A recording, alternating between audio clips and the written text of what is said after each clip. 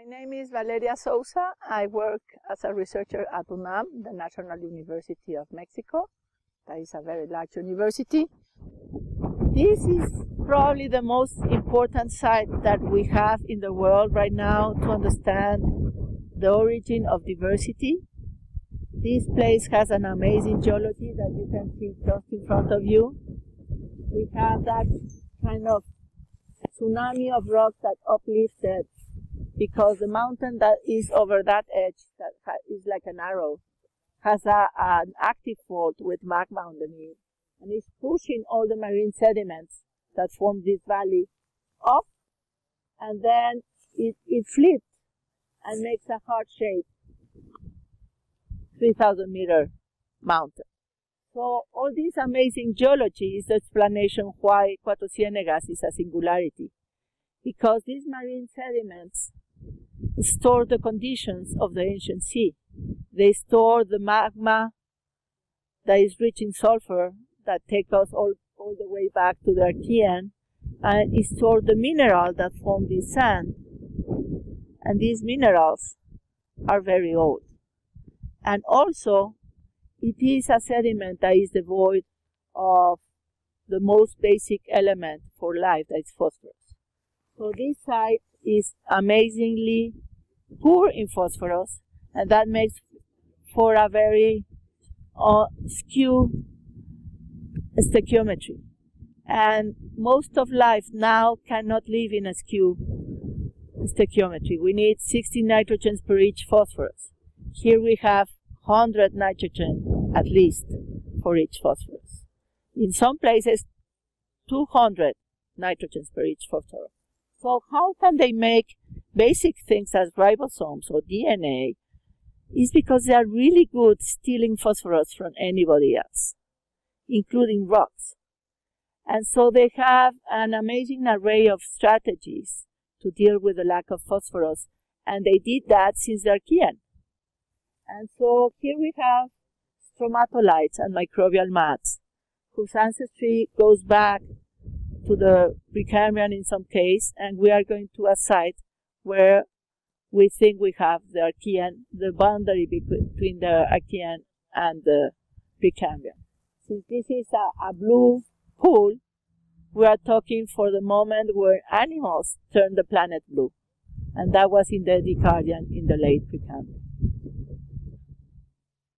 My name is Maria Colombo Quides, and I'm an intern for a year working in Valeria's lab at UNAM in the Department of Evolutionary Ecology. And right now we're at Pozas Azules at the site of the Archean domes.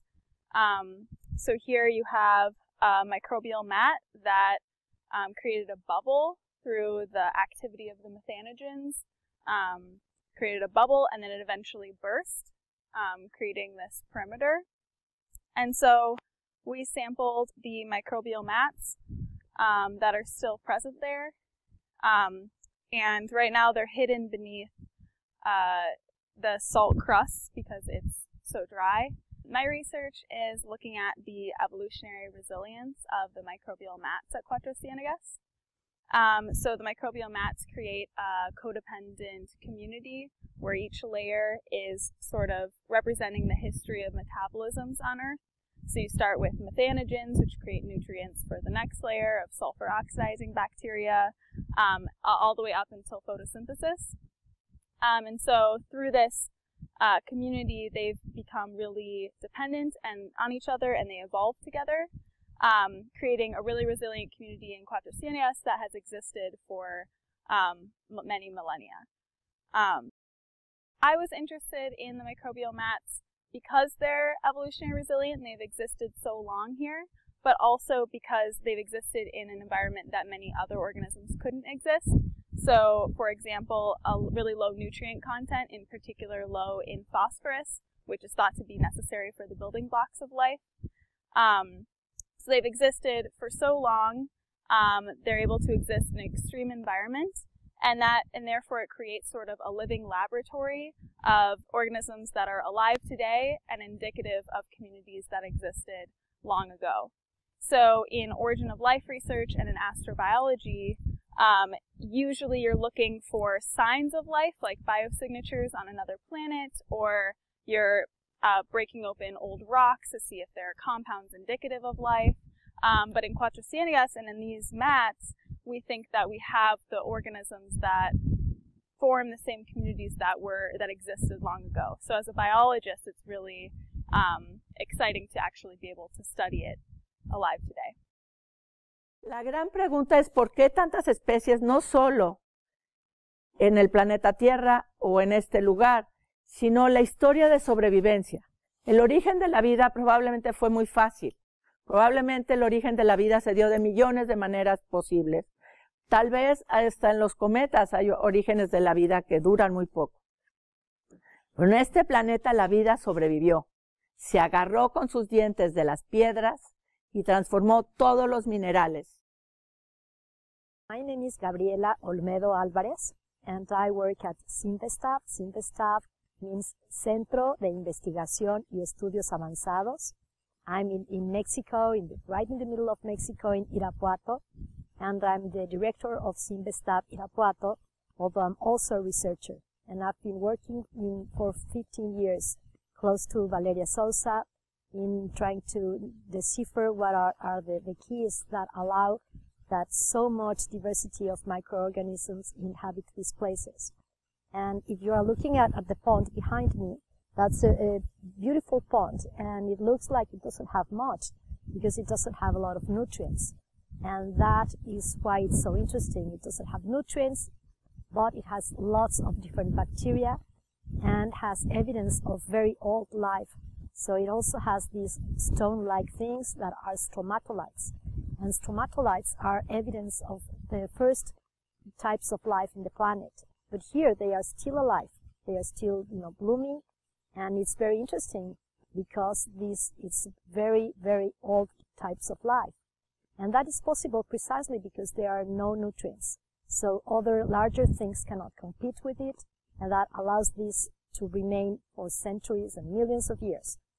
But if we walk just a few meters away, maybe just 200 meters, we'll find a very different scenery. We find these very salty crusts, and these salty crusts are full of life also. A very special life with lots of salt and with a low pH. So it's a weird life that we do not understand, and that's sort of one of the focuses that, that we have for this trip to be able to sample what things are living there and we'll take them to the lab to figure out how some bacteria or archaea can live with these very, very extreme environments. In the system called Pozas Rojas, because these ponds are fluctuating environments, they get very saline in the summer because the water evaporates is deep water, it's not rainwater. So each one become more vivid color than in winter where water doesn't evaporate as much. And so they, they get like their juiciness concentrate in the summer. And the life that lives here is very diverse. There's microbial mass that we have sequenced. There's a, a very large biodiversity and there are like islands. There are nine small islands of, of these tiny pozas and a big lagoon. So you can compare the, the diversity in each one of them by separate and then the, the big poza in the middle. But this was perturbed by a hurricane in 2010 and it became a complete lake all of it is it kind of drain all the nutrients and, and all the water from the west side, east side of the valley. And the biology changed because then the pozas became connected with the lake water. And also the nutrient change. It was, before the hurricane, it was the site with less phosphorus. And now is a site that is nearly has a balanced stoichiometry. So it is very interesting that how the, the life uh, got habituated to this richer environment. And what is even more interesting is that what was a very primitive site, it became a more Holocene site. So, for example, the Vibrio that lives here, they didn't uh, radiate till the Holocene in Cuatro Ciénegas, which is at the same time that the fishes came from the Rio Bravo shed. So they are very interesting and they are always changing and that makes us really happy and we are following the change. So I'm sure that the deep aquifer still has the, the deep ancient bacteria. It's just that, that the, the lake that shed here, that came here, brought newer creatures from everywhere that were bacteria more used to nutrients, and maybe there are pockets of nutrients in different parts of the valley. And what makes Cuatro Ciénegas unique is precisely the lack of nutrients.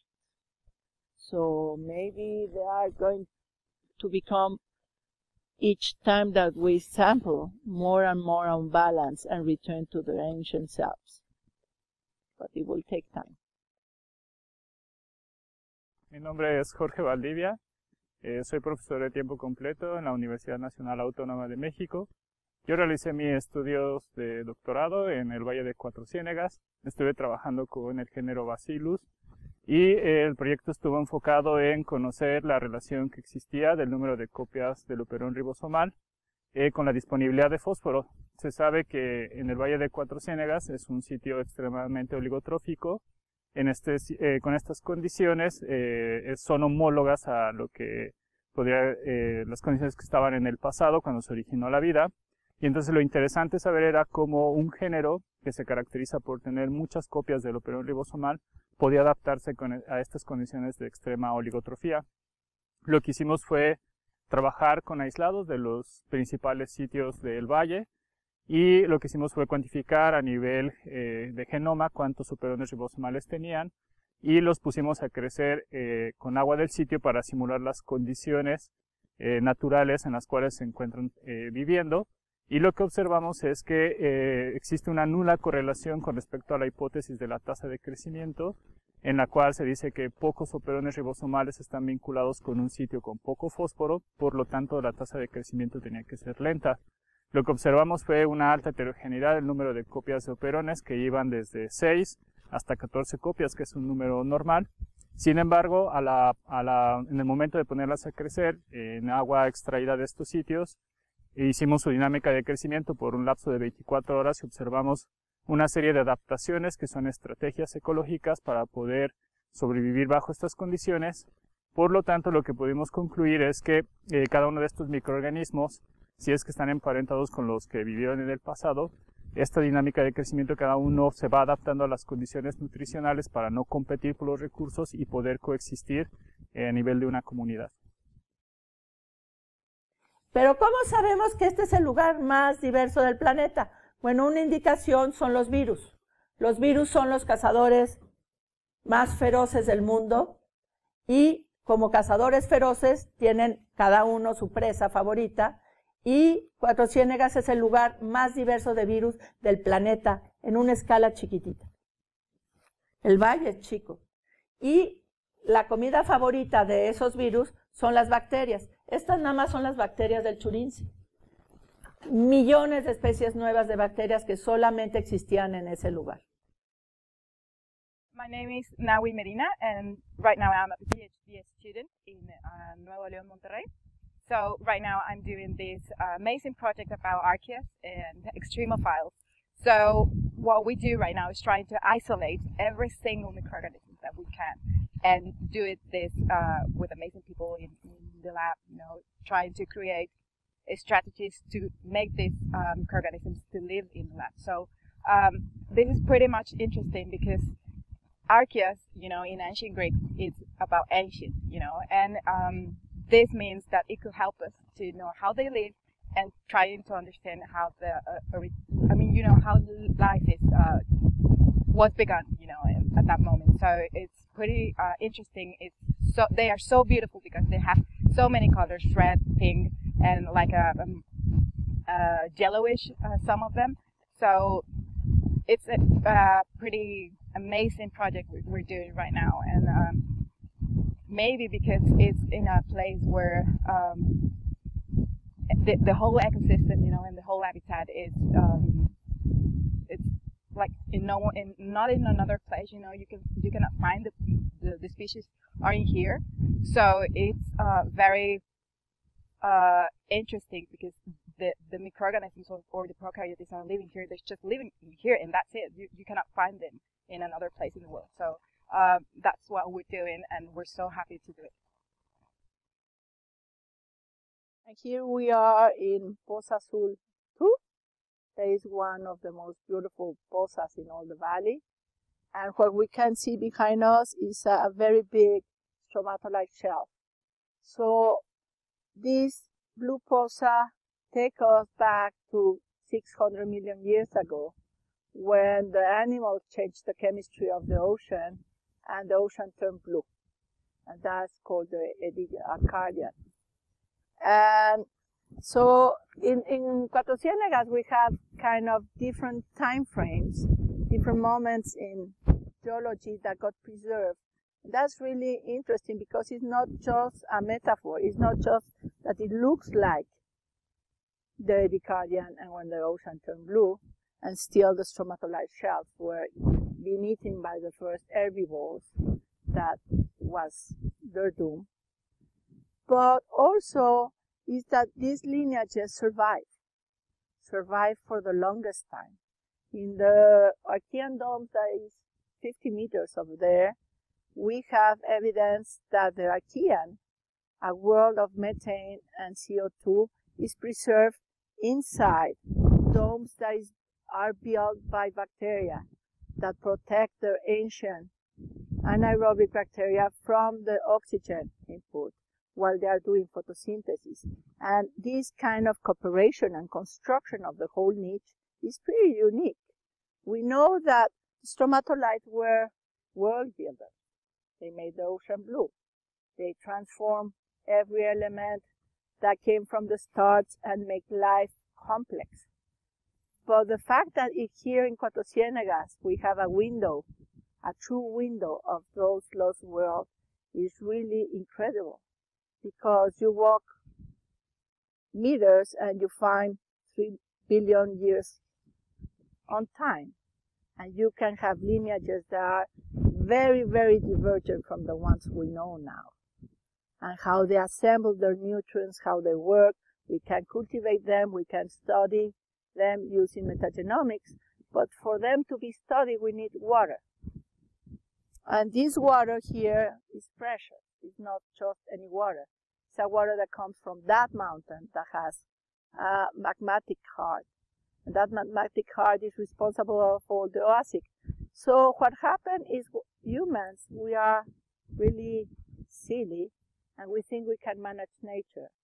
And when there's agriculture in the desert, where the water comes from, it comes from the deep aquifer. And this is not just any aquifer. It's an aquifer that has stored the conditions of the early sea and we are losing it. And then we have the tragedy of Churince, where there's no longer water when it looked like that. And now it's a, it's a field of dead turtles and dead fishes. And maybe there's some hope that we can recover it if we close all the channels that are taking out the water from this ecosystem. Y que tenga la historia completa del planeta. Es el único lugar que guardó la memoria viva del planeta. Y ustedes son los guardianes de esa memoria.